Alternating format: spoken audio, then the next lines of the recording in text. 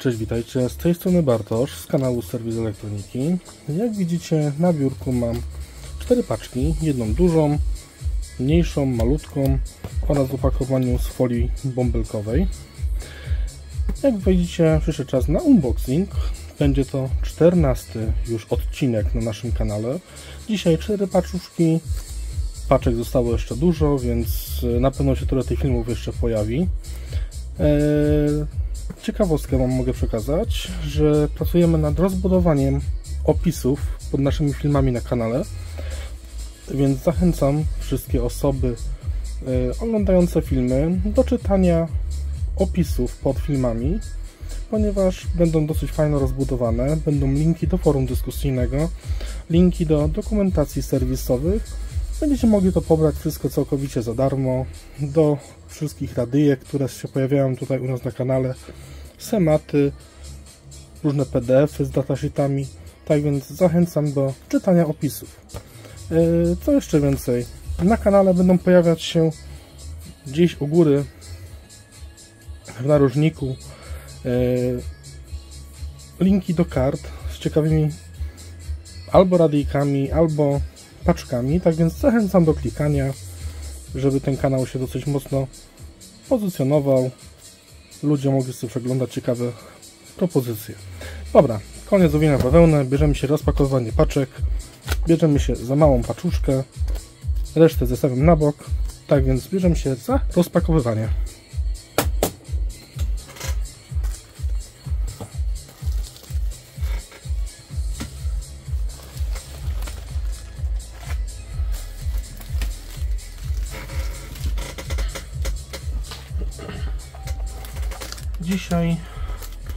Zaczynamy od najmniejszej paczki. Jest to paczka przysłana pocztą polską. Nie mam pojęcia co się w niej znajduje.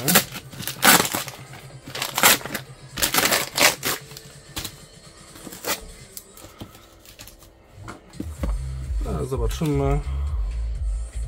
Wiem, że ciekawią Was te filmy z unboxingu, tak więc Paczek jeszcze jest sporo. Ostatnio nic niestety nowego nie zakupiłem.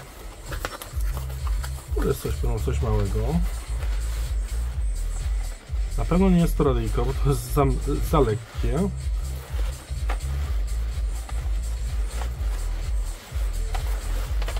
No już mam, chyba kaseta. Pudełko na bok. Co to jest za kaseta?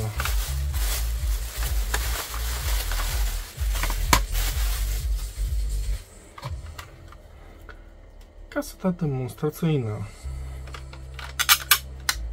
Niestety brakuje okładki. Taśma w miarę dobrym stanie. Z tego co pamiętam, była to taśma do dodawana do zestawów z Eltry, czyli taśma demonstracyjna z Eltry. Jeżeli ktoś z Was posiada może okładkę od kaset demo z zakładów Unitra Eltra, prosiłbym o odezwanie się do mnie na maila. Chętnie bym przyjął skan takiej okładki, żeby wydrukować, a już niebawem spróbujemy sczytać zawartość tej taśmy i udostępnię Wam w całości na kanale jako osobny materiał filmowy. Czyli w paczce numer 1 krywa się kaseta demonstracyjna zakładów Unitra Eltra. Kolejna paczka. Jest to paczka z AliExpressu. Tak.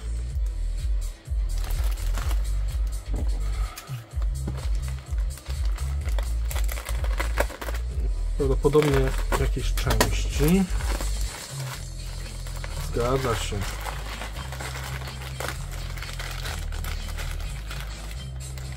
Kondensatorki na 50V, 1000 sztuk, 18 piko,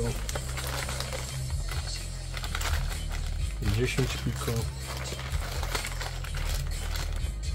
2 piko, jest tego tu sporo, moi drodzy. 4 piko, 5 piko,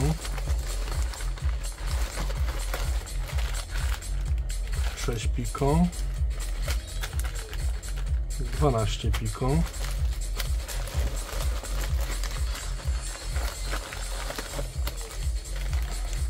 9 piko, 7 piko. Mamy tu jeszcze jedną i 8 piko. Czyli to było stare zamówienie, które kiedyś zamówiłem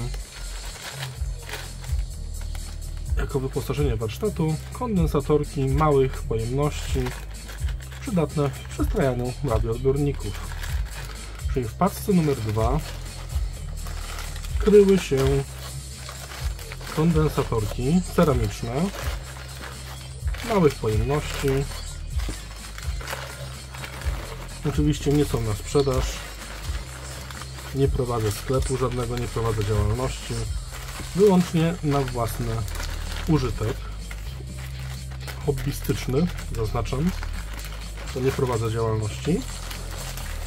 I w paczce numer 2 mieliśmy duży zestaw kondensatorów ceramicznych.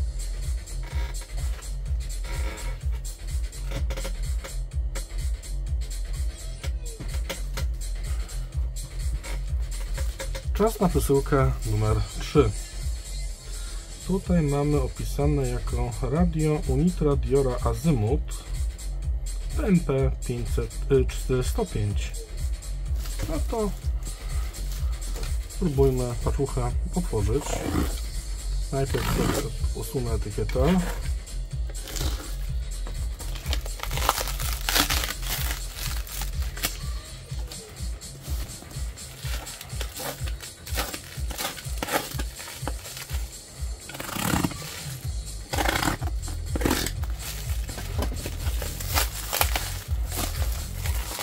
Paczuszka bardzo mocno pancernie wręcz zapakowana.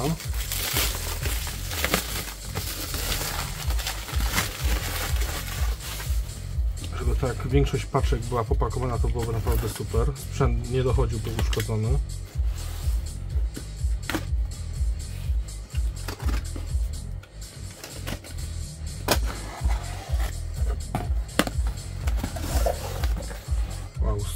Naprawdę. Ktoś się bardzo postarał.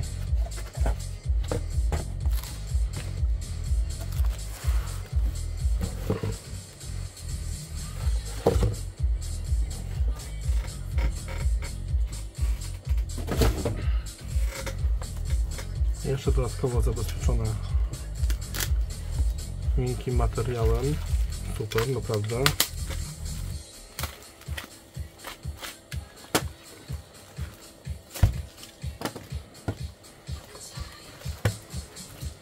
W jakim stanie to radyjko jest. Szczerze przyznam, nie mam pojęcia.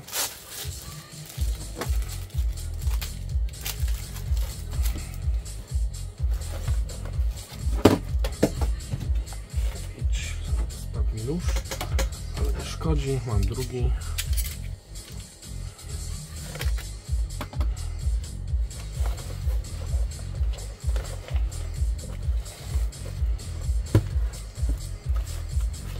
Nawet tył jest dosyć ładnie zabezpieczony tekturką, żeby rączka się nie uszkodziła. Naprawdę ktoś bardzo fajno pomyślał. Wow, super.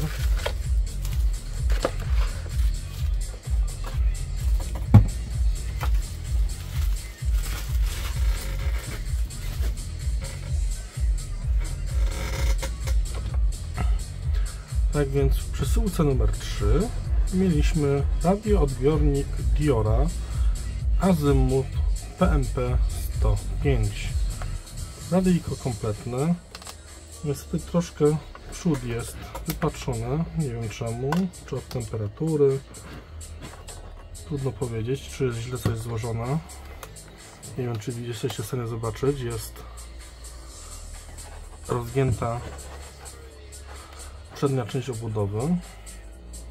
Wszystkie nadruki są całe, zaślepki są kompletne.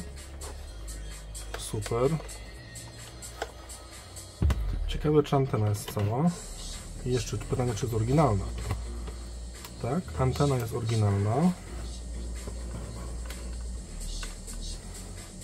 I co najważniejsze, antena jest cała, moi drodzy. super sprawa.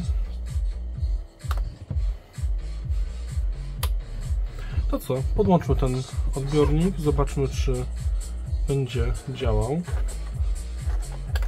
Dla osób, które nie wiedzą, ten odbiornik posiada magiczny schowek na przewód zasilający. Dzięki któremu można go podłączyć do prądu. Podłączmy go do prądu.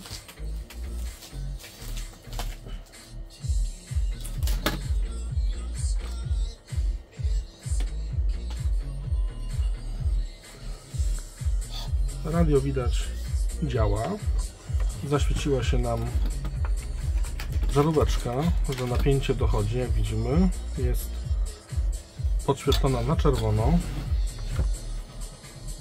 To co? Spróbujmy je uruchomić. Wyciszę muzykę trochę.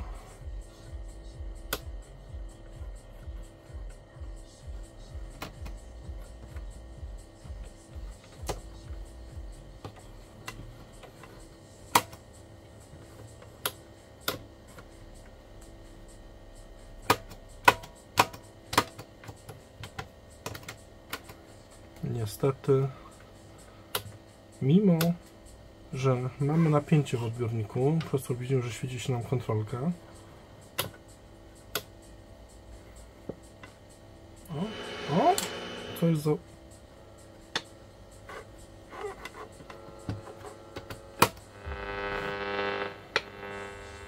Coś łapie, ale są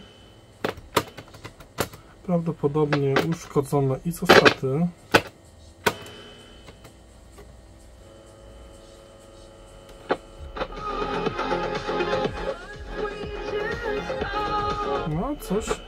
Odbiera.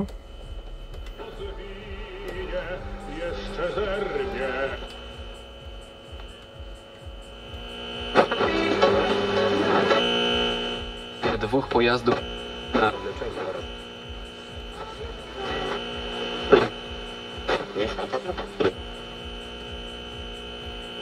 Bardzo dziwnie się ten odbiornik zachowuje. Jak słyszycie, piszczy, co nie powinno tak działać. Pojawiają się nowi młodzi przed skrzyżowaniem. Com.pl Wstawaj, szkoda dnia w RMF FM. Już jutro po 5.30 obudzą. FM niby przystrojony, ale niestety jak dla mnie jest chyba źle przystrojony.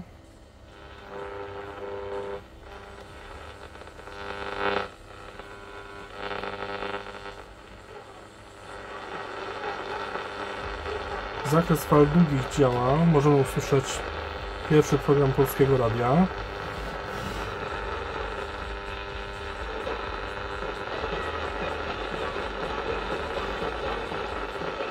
Natomiast oczywiście o tej godzinie mamy godzinę 18.40, więc sporo zakłóceń w eterze.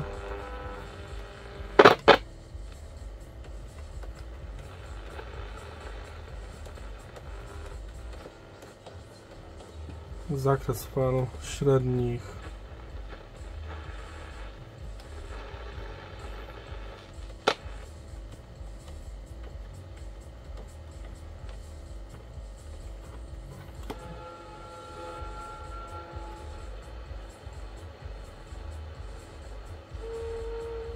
No, coś złapało.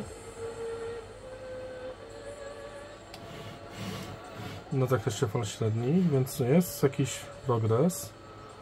Sprawdźmy. Krótkie.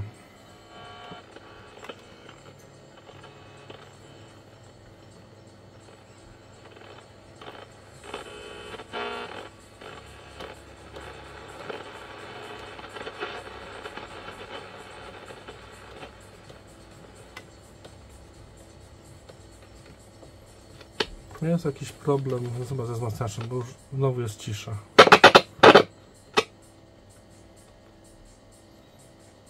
I będziemy już dalej próbować. Odbiornik dokładnie do przejrzenia. Tak więc, moi drodzy, w przesyłce numer 3 mieliśmy Unitra Diora Azymut PMP 105. Radio wymaga przeglądu, naprawy. Na pewno trzeba się zorientować, co, jest, co się stało, że odbiornik jest tutaj wypaczony u góry, jest wypchnięty.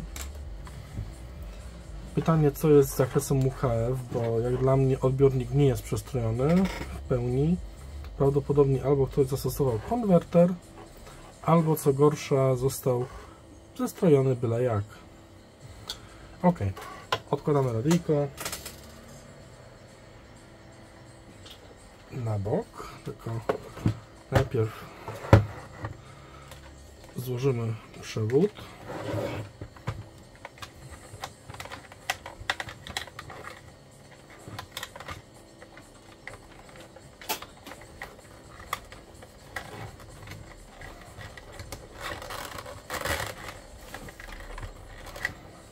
Szkoda, że to miejsce na schowek przewodu nie jest większe, żeby ten przewód jakoś normalnie móc schować, ale pomysł na stosowanie przewodu naprawdę zacny i się tutaj chwali. Zaślepka jest cała. Oba plastiki, którymi wsuwamy i blokujemy obudowę, żeby nam klapka nie są całe, tak więc super sprawa. Pewno pamiętacie, jak wspominałem ostatnio, że najczęściej giną ta klapka i ta klapka od baterii. Możemy sobie jeszcze sprawdzić, jak wygląda komora baterii. Bardzo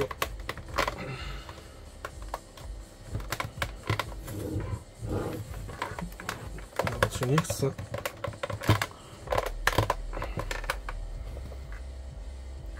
Nie chce otworzyć. Nie wiem, co tutaj się zadziało.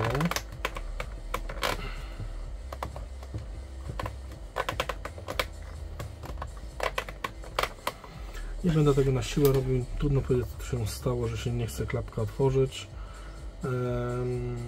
Przekonamy się, jak rozkręcimy odbiornik, żeby dostać się do niego do środka. Ok. Czyli w paczce numer 3, jeszcze raz, mieliśmy Unita Diora Azymut PMP 105. To tak, jakby nie patrzeć, bierzemy się za czwartą i ostatnią przesyłkę, dosyć dużą. Odstawiam odbiornik na bok. I mamy przesyłkę. Dosyć duża. Możemy włączyć z powrotem głośniej muzykę.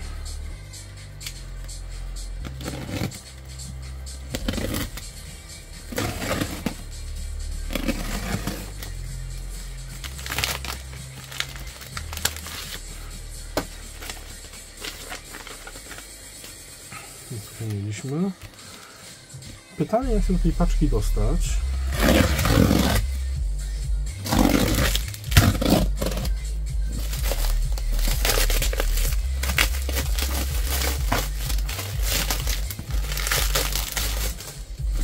Przesyłka, jak widzicie, też dosyć pancernie zapakowana. Przyznam się, że nie mam pojęcia, co w niej się znajduje.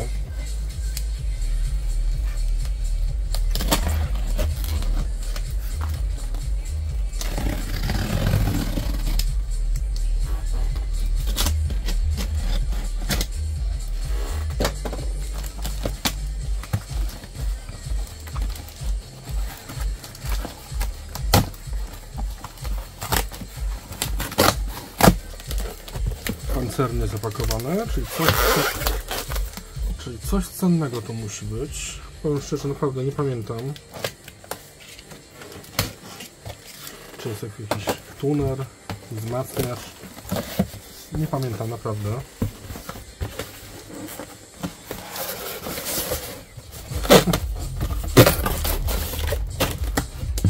Czyli mamy kolejną paczkę w paczce.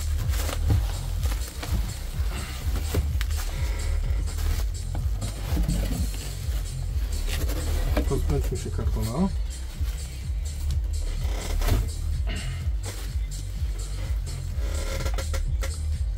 Coś, co Nóżki są na dole.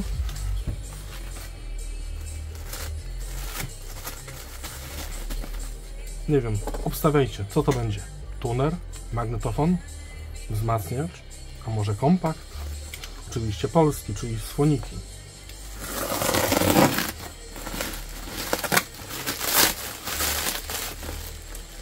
Góry jest klatka.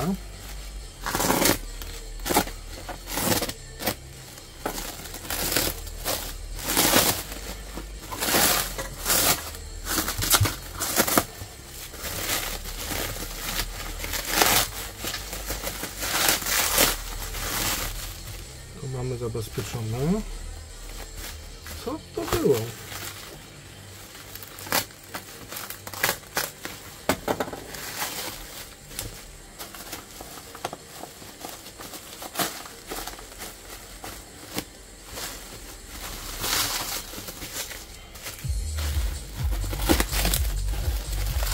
Tutaj widzę, że jest tył, czyli przód będzie z tamtej strony.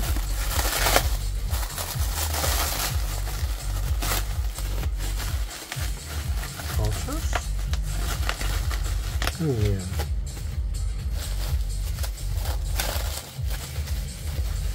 Powiem Wam, że jeszcze do tego nie doszedłem.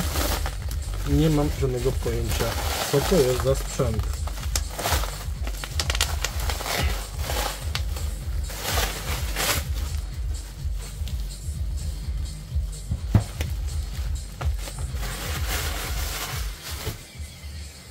Pewno nie jest to wzmacniacz, bo jest za lekkie.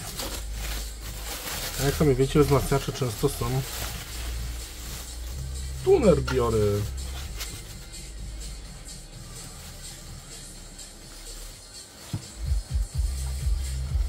Bardzo fajny tuner diory z syntezą częstotliwości AS946A. Tak to się prezentuje, moi drodzy tuner z wyświetlaczem cyfrowym. Ciekawe, czy sprzęt jest na chodzie. Podłączymy go sobie.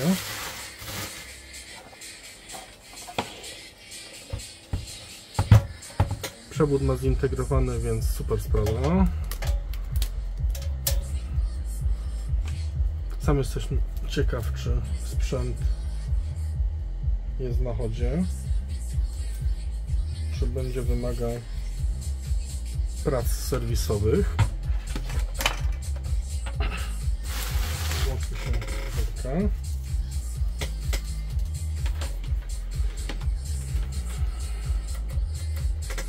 Podłączmy go do prądu.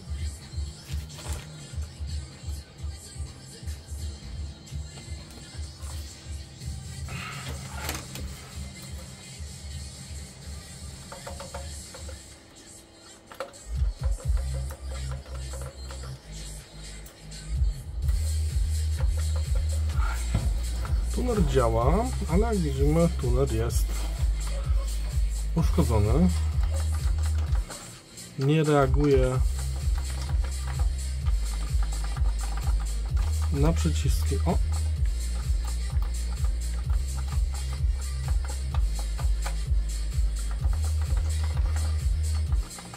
Pytanie, co jest powodem uszkodzenia tegoż to sprzętu.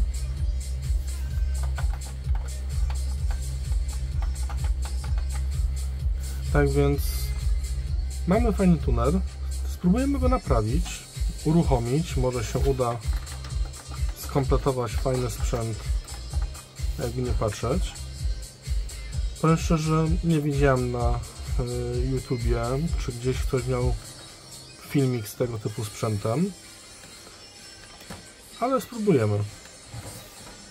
Oczywiście nie będę go teraz rozkręcał, bo nie o to tu chodzi. E, poświęcimy osobny materiał filmowy na ten sprzęt.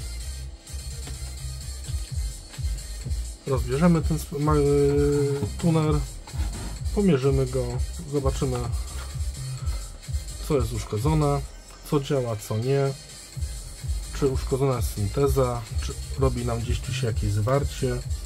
E, może uszkodził się procesor, kto wie, więc Chyba, że są jakieś zimne luty po tylu latach i, i sprzęt niestety przestał działać prawidłowo. Tak więc moi drodzy, bardzo dziękuję, że byliście na tym odcinku unboxingu 14 już z tego co pamiętam. Tak jak mówię na początku, zachęcam do czytania opisów e, pod filmami, z tego względu, że będę tam publikował dosyć dużo ciekawych informacji, które na pewno się Wam przydadzą. E, Będą publikowane linki do dokumentacji serwisowych, schematów, e, linki na forum dyskusyjnego, które będziemy uruchamiać do prowadzonej dyskusji o tym sprzęcie. Więc e, z mojej strony będzie to, że to co ja tutaj posiadam, mam zebrane we własnych zapleczach serwisowych od wielu lat. Będę Wam to udostępniał całkowicie za darmo, więc jedyny wymóg będzie taki, że aby z tego skorzystać, trzeba się będzie po prostu zalogować na forum, gdzie będzie można sobie pobrać te e, materiały. Całkowicie za free, nie pobieramy żadnych opłat, e, tak więc osoby, które lubią elektronikę, interesują się tematem tematami elektronicznymi, zachęcam do czytania, bo mówię, naprawdę opisy będą bardzo fajnie rozbudowane, na pewno coś się Wam z tego może przydać do serwisowania, naprawiania, więc czytajcie opisy. A tak jak już wspomniałem, dziękuję, że byliście. Był to 14 odcinek unboxingu na kanale. Do zobaczenia w kolejnym unboxingu, ewentualnie w jakimś filmie prezentacyjnym z jakiegoś odbiornika. Jeżeli Wam się to się spodobało, proszę o subskrypcję, łapki w górę, komentarze. Zawsze się to przyda. Do zobaczenia. Hej!